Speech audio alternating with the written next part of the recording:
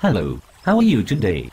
I am going to be discussing the principles of training. Good afternoon. One is delighted to see you. I must say I am very excited to learn about the principles of training.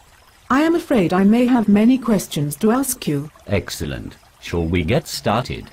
What would you like to know first? What are the main principles of training? That's a good question. Now it's your turn. Goodness, that sounds like such a lot to remember. What does each one mean? Okay, individual needs is exactly what it says. What are the individual's personal needs?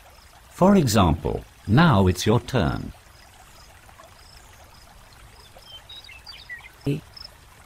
So could you change the PEP depending on what their goals are?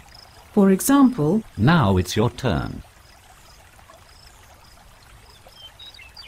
What does specificity mean? Specificity means Now it's your turn. Do you know what kind of training method a sprinter may use compared to a marathon runner? Now it's your turn. Okay, what was the next principle? Now it's your turn.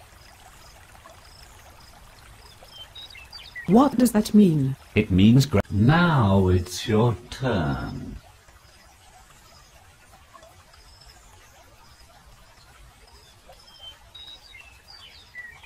Can you give me an example? Certainly. One example is Now it's your turn.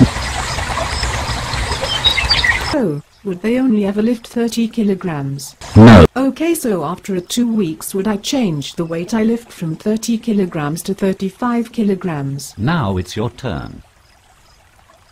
No. Exactly. For example, When now your crush your looks turn. at you for more than three seconds, please don't give me hope. Why is rest and recovery so important? Now it's your turn. Right, I've got that now. Next on the list is the FIT principle. What does it stand for? It stands for Now it's your turn. Hey guys, welcome back to another video, and today we're with Okay, let's see if I can apply it correctly for